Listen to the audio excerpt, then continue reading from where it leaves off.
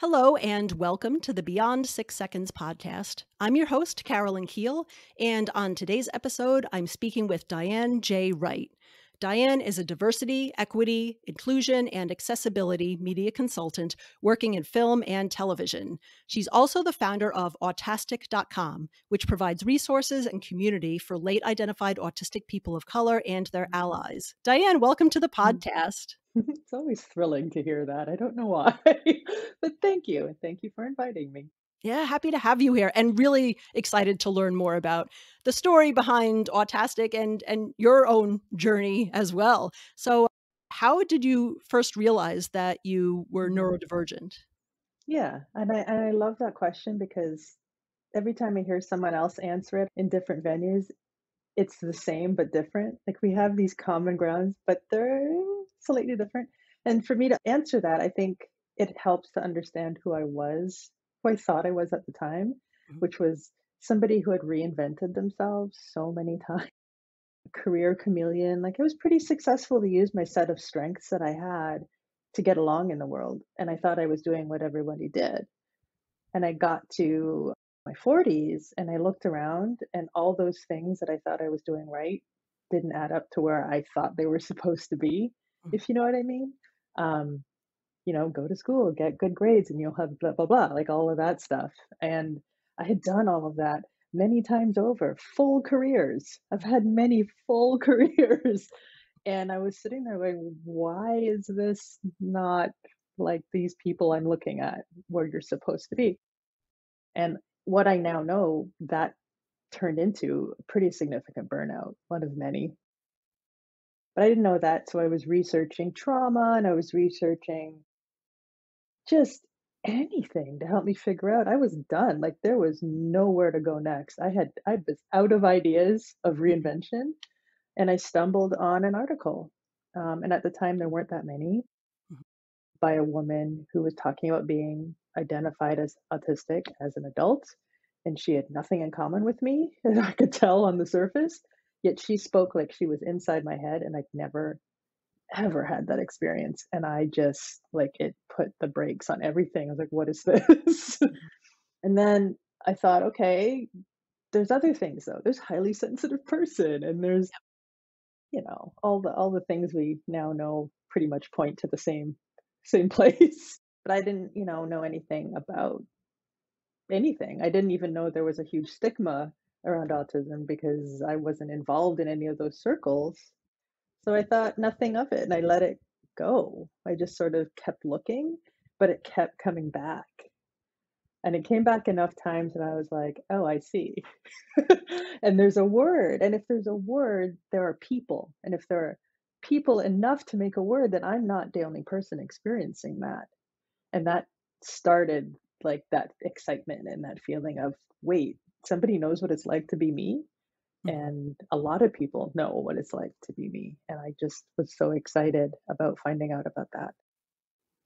Yeah, absolutely. I was also in my 40s when I got diagnosed autistic, so it's interesting to hear sort of like all the, you know, reading the article because I had a similar, you know, one of many hmm things was finding other women writing about their experience and it's like, oh, it's like the way they describe their childhood is how I was described in childhood and all of these other, you know, realizations and yeah, I I know my own understanding of autism was just so very different from what it actually is now that I've spent time hmm talking to other autistic people. So, hmm Yeah, of course. I went straight to the DSM, right? Ooh, what's the what's the official like tell me all about it. I need to know all the things. And I was like, oh, Mhm. that's not me. Exactly. the ADHD came much, much later.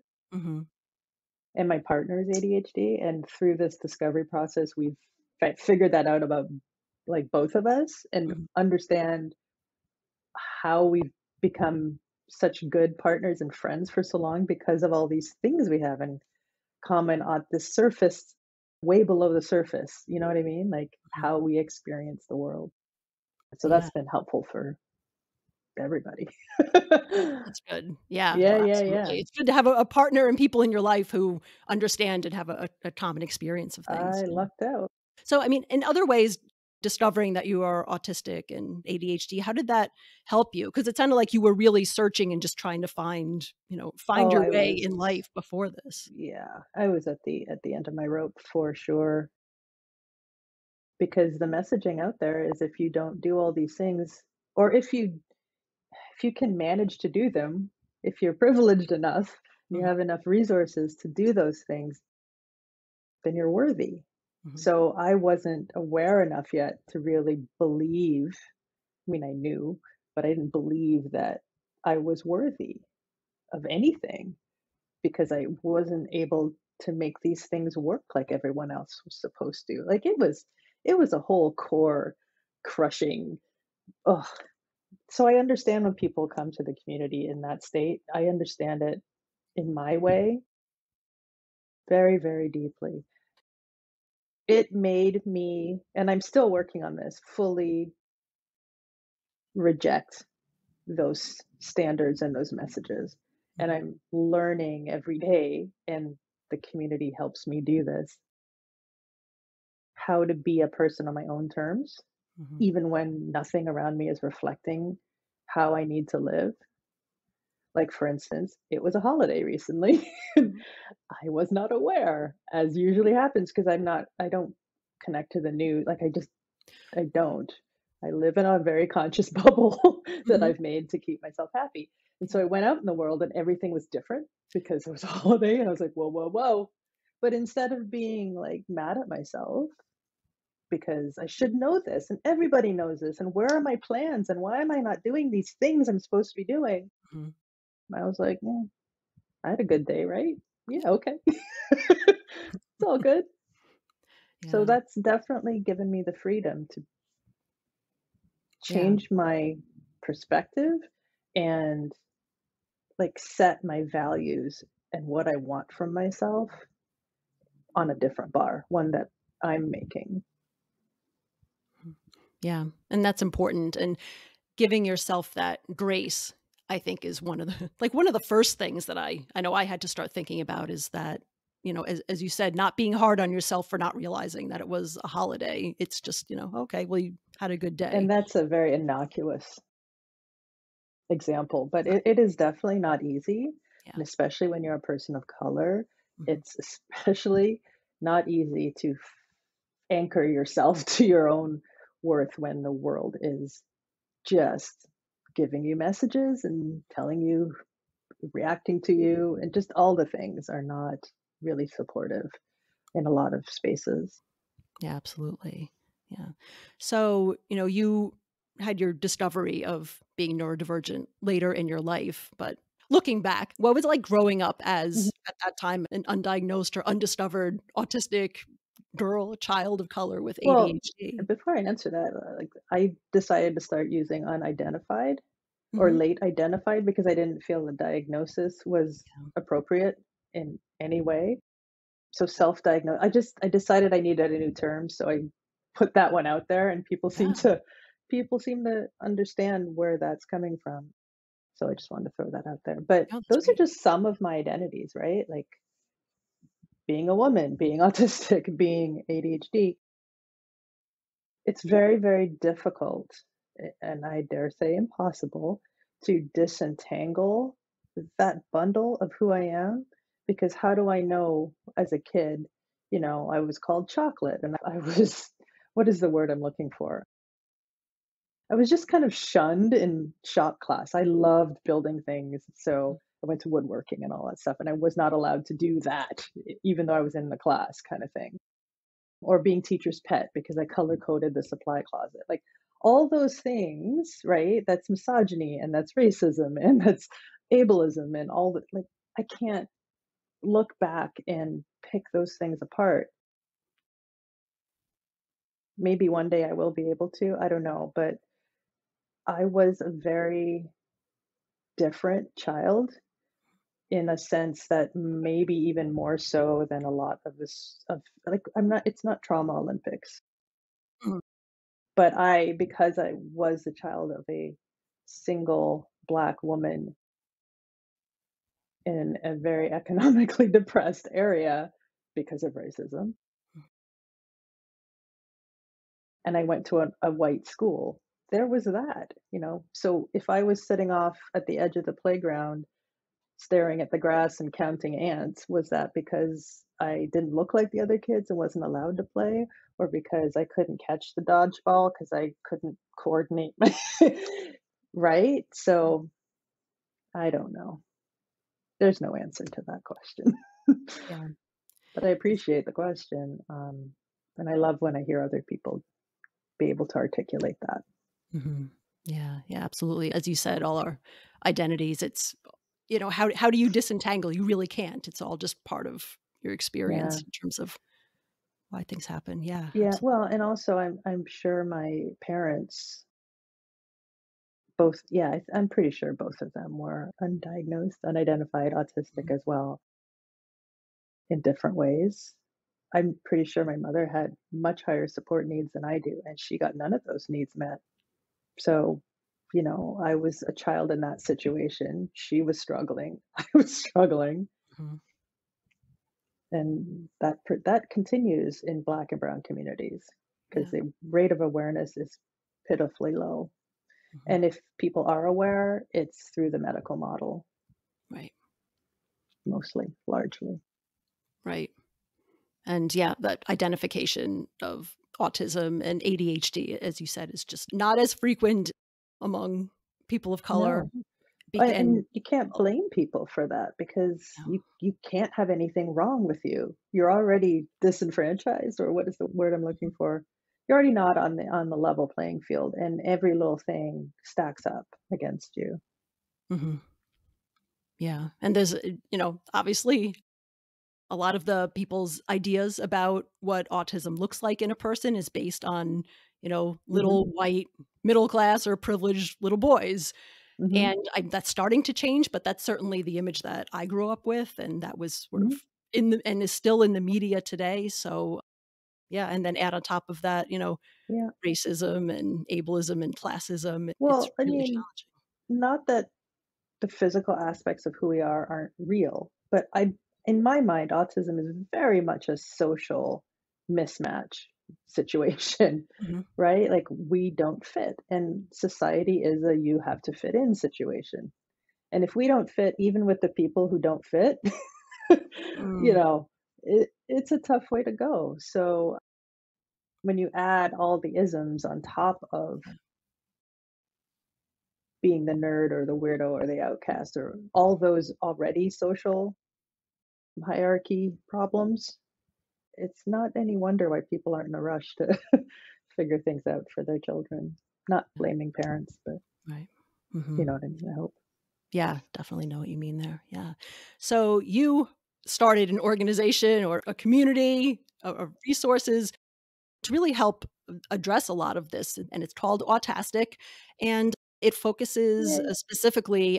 It's for Black and Brown, uh, late identified autistic people. What inspired you to say, you know, I'm going to start this community? Um, how did you see the need, and how did you decide you were going to step up and try to fill it? Selfishness. I just didn't want to be alone in my growing understanding of who I am. That's really all it was. And as I was learning all these new things, you know, as we do, as we delve into all the things we can get our hands on, I wanted to just make it easier for other people to find it. But it really was just I didn't want to be alone. So how did you get started with it? Like how did you even decide what to start with? Did the community start first or did you start oh, collecting resources? um, Facebook, I checked, told me it was four years ago. I just started a Facebook group. It had a different name at the time. I think it was Ot Life, which is the hashtag I keep trying to make happen, but it's not happening. And people, thank you for Facebook algorithm at, at some level, kept telling people about it. And it was a few hundred people, and they had a lot to say. And they were really grateful to find that space because there was nothing. I couldn't find anything because I didn't know how to look or whatever. So I just started something at the time. And now we're, I think we're at 10,000 people, if not very close. wow. Yeah, it hit it hit a a milestone and it just became this community where people talk about absolutely everything. There's hundreds of posts all day long And when you search for something, you can find like this amazing wealth of like it's just us talking to us. There's nobody else in there, you know? hmm And it's and I try to really steer it to just please just talk about anything you want, but within the context of how we see the world. It's really hard to to get that because when you're new, you kind of don't know what your perspective and how it you don't really understand how to communicate how that's different. Yeah. But I think that's what's made the difference in that space and what's I've taken that further to the community launched offline. But just to nudge everybody to think, okay, you want to post about your lunch? That's cool. Why don't you try posting about it in terms of why you like that lunch? Is it a sensory thing? Is it a comfort thing because of executive function? Is it any number of things that is it a stim because you like to slice carrots or whatever it is? Mm-hmm. Try to figure out what part of that thing you enjoy is probably related to the traits that you have or are. I think that little nudge has really helped people feel less like a rant space and more like they're actually we're actually building a community to talk about what this is like. Mhm. Yeah. So you mentioned that Autastic or the early version of Autastic started as a Facebook group, but now Right. it's it's on a different platform now as as I understand Right. it. So have have Um, you migrated from Facebook to the other platform entirely now? no, I made a conscious choice not to do that because what I wanted to happen was to have two different kinds of conversations. So the, because the Facebook community has grown so much, it's changed in the nature of the kinds of conversations you can have with people. You can't really get to know 10,000 people as friends, right? You just can't. And I wanted to make sure that we had a space where you can get to know people as friends, because a lot of our friendships are online, and have in depth, slow conversations and not just quick scroll things. Mm-hmm. So the entire nature of the Autastic community, which is on a separate platform, which doesn't mine data in the same way anyway. I'm sure they do at some level because they're a company, but it doesn't have advertising. It has none of those distractions. So when we log on, we're just, it's just us, Mhm. right? And it's entirely different. I have a I have one requirement and one requirement only is that you post an actual photo of yourself. You Mhm. can be creative about it. You can wear a mask, you can hide behind your pet, whatever it is, but do do that. Show up as you, not as an avatar and not as your child or any of that stuff. And I think that has really made a huge difference because people feel like they are there Mhm. in that room, accountable and vulnerable. And I'm seeing a huge difference in the kind of connections that happen. Yeah, and it seems like a balance between kind of showing up as your yourself, your authentic self, at least with a photo and Yeah. saying I am a person, not an avatar or, you know, but at the same time because it's off of Facebook, there's sort of a level of I would say privacy because you know Facebook and, and all its issues, really any social media platform, but this at least is a separate Mhm. area where it feels more like a kind of a, a closed and safer community to talk about things. Well, I'm I don't want to be naive and think that but anything I believe anything you post online anywhere is there forever and anyone can access it. I truly do. And and so the requirement I I lay out there is not for everyone. Mhm. And and I don't check. I mean, you can do whatever you want. If you want to post a picture of someone else, feel free. That's not how I want to show up in that space, and I hope others want to show up as themselves. There is always a certain risk. And if you're not willing to take it, then I host, you know, the other group, the bigger group. Go ahead. It's absolutely fabulous. So, you know, it's choose your own adventure. Yeah. Yeah, and just going on to the community, there's a lot of topics for people to talk about and contribute to. I, I know that you have some either moderators or very active users who will regularly post like posts that are prompts that will encourage people to to talk and contribute. And then of course people can contribute to those categories in their own ways as well. Yeah, those are very excellent and much valued moderators. And the Autastic community is entirely run by Black and Brown autistic people. So Like I'm really happy to be able to say that because there's I don't know if there are other places that can say that. And I do partner with advocates to help boost their platform and there are fees for their courses so i'm trying to pay people for their work mm-hmm. as well as support the community it's all a little self-supporting bubble but i'm i'm trying really hard to entice more people of color to come share what they know with our community mm-hmm. it's not easy though it's not easy because there are risks involved in putting yourself in front of people so our advocates of color have been dwindling in the last few years. And I want to see that change. But I understand why it doesn't. Yeah. Yeah, absolutely. And I mean, it's it's hard for me to kind of capitalize just how much how much there is that's part of Autastic because there's this great community that's very active and you also have you know you have a, a website that has all of these resources many of them for free and others are like courses and and things you can pay for I'm not describing it well but i'm thinking like if you are a late diagnosed autistic person of color or, or late identified or an say, ally or an ally there's just so much there to go on and learn about like you know because a lot of times you get the discovery or the realization and then you're like all right well, now what do I do? Like Autastic has like some of the best resources I've seen. That's Point so that great. Out. Thanks for saying that. Those were some of the first things I created. And welcome to the that's my brain you're looking at. Just that's what it does all the time. Just mm-hmm. make stuff. But the start here resources, there's a little there's a little packet of I think three articles. I try to have something there for someone who's just what there's nothing out there. What do I do? And it's like, here, take my hand and let me lead you through. This will get you started and it's free. And I also have a low cost package where I've gone through like vloggers I love, podcasters I love, including you, just a handful of resources and terminology.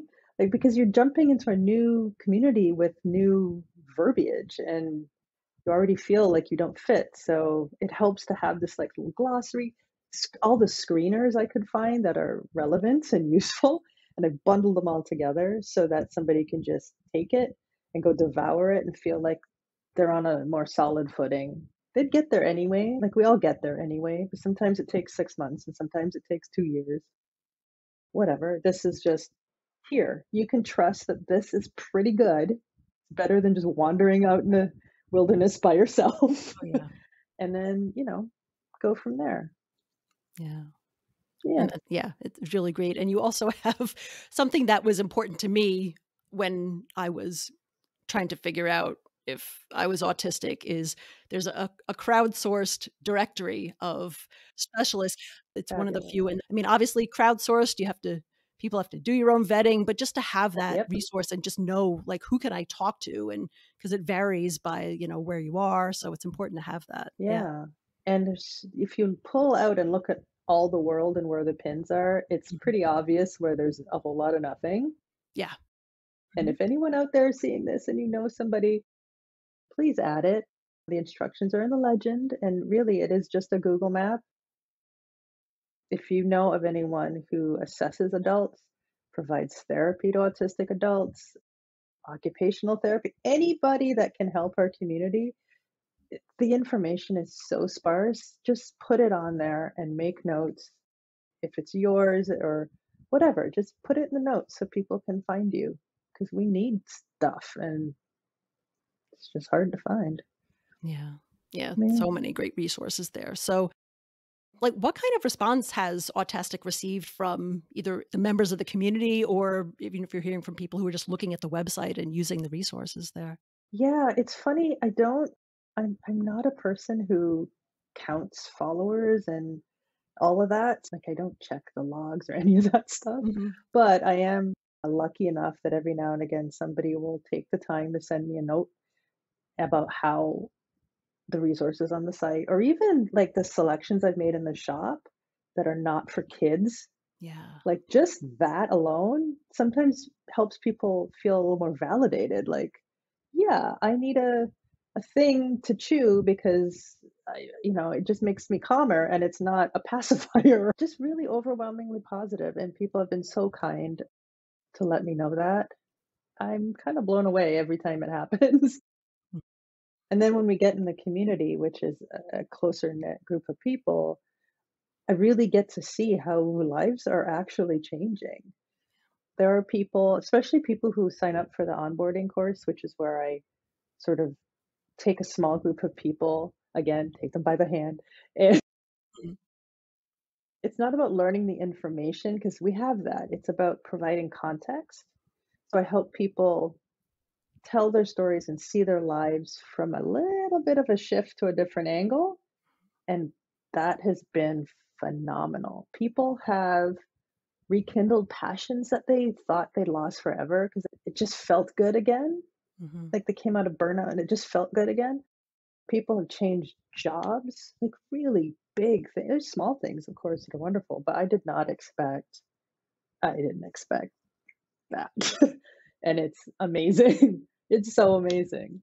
It's really Sorry, wonderful. I'm gushing, but it's gush worthy. Oh, it absolutely is. Yeah, to just make a difference and, uh, you know, again, to have a resource like that, it really is like a, a treasure trove to And to be selfish again, really, this is just me putting my brain out like blah, here world, see, see how Mhm. it is. And it's I've done that in a masked way. I've given people what I've known or the skills I acquired so that they can make money or whatever it is jobs do for other people you work for.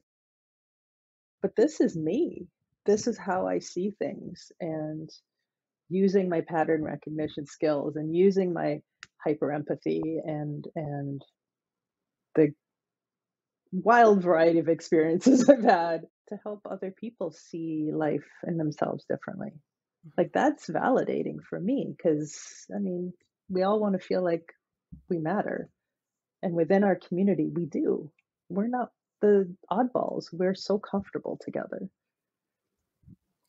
Yeah, definitely. We we matter and just being able to make a difference in such a, a profound and life changing way for so many people. Well, yeah, and I keep saying we have every, you know, nearly, not in my autis autistic communities, but within the larger autistic community, we have everybody we need. Mhm. Like we are skilled and caring and compassionate and just all the things. And if we could find each other enough, it's kind of like the Buy Black movement. Like Mhm. you have everyone you need. It's not to the exclusion of anyone else, but it Right. is to the inclusion of people like you. Because it's easier and it helps support everybody. And I don't know. Ah, it's just I put up a shingle and now here I am. Wow. Looking Mhm. forward, what are your goals for Autastic? Do you have big things that you still want to do with it? Or, Well, yes and no. My goal is not to have goals, really, because I've lived my entire life meeting somebody else's goals or goals I think are mine, but where did they come from? You know, I don't want to put that on myself. And yet I find I get up every morning and I'm like, ooh, what can I do today? Mhm. Or like, yay, I did this thing, it's done, finally. Whoo, oh, what can I do now? Mhm. it's like I'm always, but it's so, it gives me so much joy and it's just fun for, it's an outlet. It's it's my thing, right? So what I do want though, in a bigger sense, is for more black and brown people to know who we are and to find each other so we can change our lives for the better and feel less alone and less vulnerable. Like it's so hard to know that we're out there in numbered equal numbers. Like there's no difference in the rate. Like we're it's the same, but yet you look at who's talking, who's the community made of, who's the media made of, who's getting funding, who's getting put on public shows as representation, like all of that stuff. It's not us. And if it is us, it's a very specific view of us, unfortunately, and not very flattering. So, what I want is significant funding from philanthropists and corporations. Those funds go other places all the time. And autistic adults are at the end of the line generally, and people of color who are autistic adults aren't even thought of a lot of the time, just forgotten. So I want that to stop. Autastic is member supported. Like I fund it myself out of my family fund. Mm-hmm. And by family, I don't mean parents because I don't have that kind of privilege, let's say, from money that I've made in my life, is what I'm saying, and my partner makes. We Mm-hmm. fund it, and it's member supported. And a large portion of that comes from Black and Brown members, and that needs to stop. Mm. That's not okay. I'm grateful for it. We have made this happen for ourselves. And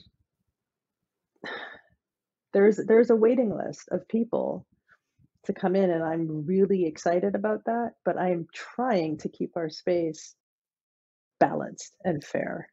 And it's very very difficult to do that. I need to get the word out. I was lucky enough to get a grant, a very small grant, very very very small grant from the Color the Spectrum. Do you remember that fundraiser last year? It was like a Jimmy Oh, I Kimmel thing. do. Really? Yeah, they raised like billions of dollars. Mhm. Yeah, they gave me something with a couple of zeros. I applied for more. Yeah. I'm not ungrateful. I'm just like, seriously? Mhm. really? So that is to develop a program for, specifically for our Black members, Mhm. which I actually am starting this week to do that work. Again, not ungrateful. It's just not enough. And I don't want it for me. I want it for all, like any advocate that wants that funding, they should like wave their flag and it should come raining down on them from all these places because the money is there. Absolutely out there. Yeah. I think you were already starting to touch on this, but what is the best way for people to support Autastic and help it grow? Yeah. So, so autastic.com Mhm. slash support. I've listed a bunch of different ways. You can do a one time gift, you can do an ongoing, some people do ongoing support, for which I'm super grateful, or patronage. You get some goodies if you want, Mhm. like a little tote bag or a t shirt or something.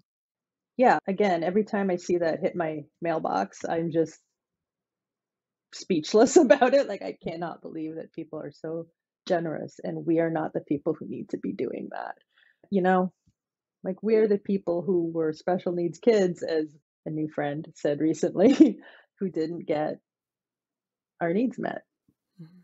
You know, I realize there's problems with that terminology, but the idea is we were those same kids that now have all kinds of support, which still may not be adequate, but there are people, programs in schools and after school, and people whose jobs it is is to sit in a class with someone and help them through it. Like we got none of that. same kids. So we should not be funding our own stuff, but it's going well. Thank you everybody for doing that. We are able, it's been a year now and there it's no signs of stopping. We've got all kinds of new stuff coming out. So Yeah. and I'm rambling, but I do reserve a percentage of every single donation and dollar that comes in for our Black and Brown members, whether it's direct financial support to take a, a course that they want to take and can't, or compensation for our member driven initiatives. Like right now, we have an art based social that we're getting together around art making, and I'm paying our facilitator out of that fund Mm. right? Or anything else that comes up. So it's all it's all it's all good and I'm really grateful for us to be able to do that, but I'm kind of mad that we have to. Yeah. hmm Yeah, absolutely. And yeah, so I'll I'll put the contact information in the show notes so that anyone can find Autastic. I'll put the support link in there as well. So I guess just how do people get in touch to, you know, learn more about Autastic? You know, what's the best way for them to to find it Yeah. and to get involved? It's autastic.com. If you want to support, autastic.com slash support. And if you want to find me, I'm at We Are Autastic on Instagram, Facebook, and Twitter, mostly Twitter, because I think in words. Yeah. Fantastic. Yep. I'll put links to those in the show notes so that people can access that really easily. Wonderful. Thanks so much. Yeah. Well, thanks, Diane. It was great talking with you. And thanks for all the really great work that you do to support late identified autistic community, people of color and their allies. Really great resources. I know it's a ton of work, but it definitely does not go unnoticed. And uh, hopefully with this okay. we'll be able to get much more of the support that Autastic deserves and other advocates as well yes yes and to the thank other you for your support and getting the word out. I very much appreciate it because the conversation needs to include everyone. Yeah absolutely. No, i appreciate that as well. Thank you